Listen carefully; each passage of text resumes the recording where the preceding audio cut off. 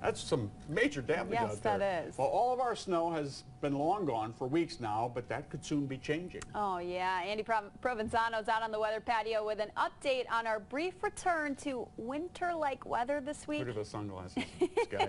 Yeah, well, sunglasses right now, guys, and we'll need them again at times tomorrow and then again Friday, but you can trade off the sunglasses for a snow brush come Thursday morning. Uh, we're worried about a large area of wet snow that moves through the region. We'll show you that in just a second, but the evening is just kind of breezy and cool, much cooler than yesterday.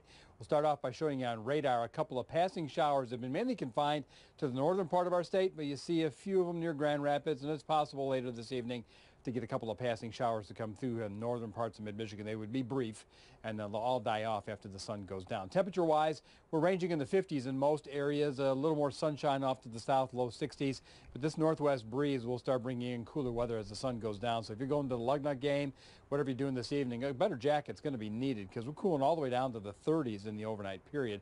Let's show you the uh, the, not only the temperatures, but what's going on with the winds, because this is a key to all of this. Really gusty northwest winds. They will die down, but the winds are going to shift more north. And as they do, even colder weather comes in tomorrow, so we will stay in the 40s for highs for the daytime tomorrow. Let's put this all into a picture for you for the hour by hour. And you see the few passing showers off to the north, they go by. And then it's just a partly cloudy night. The rest of the night is very, very quiet. Low around 35 or 36 degrees, not too far off of normal. Northeast winds tomorrow, keeping the, the clouds at bay for part of the day. And then you see that moisture starting to move in. And as we get into the evening, we start to see some rain showers. But by midnight, all of that rain then starts to switch over to some sleet, freezing drizzle, and some wet snow. And it takes most of the night for that to move north out of the area. So while it's going to be battling above freezing temperatures, I think grassy surfaces could get a good coating with that. Uh, maybe even call it an inch or two north of Lansing when you get further north in the center part of the state. By afternoon, the sun breaks out on a very gusty east to southeast wind. We'll warm up into the 50s. Now we're waiting on a cold front that comes through later at night, and we go from snow in the morning to sun and then storms. They'll be moving across the state through the overnight period. Because the winds are so gusty, any thunderstorm can reach into levels of the atmosphere and pull down some gusty winds. Probably some good downpours out of this for the morning rush hour on Thursday. Then that moves on off to the east, and we're back to sunshine again for Friday afternoon and close to 60 degrees, only to cool down again this weekend. We will show you that seven-day outlook, that up and down period. Uh, very wild and crazy forecast. I don't think we're missing anything. We've got the whole kitchen sink in it. We'll show it to you. We're back inside at 6 o'clock.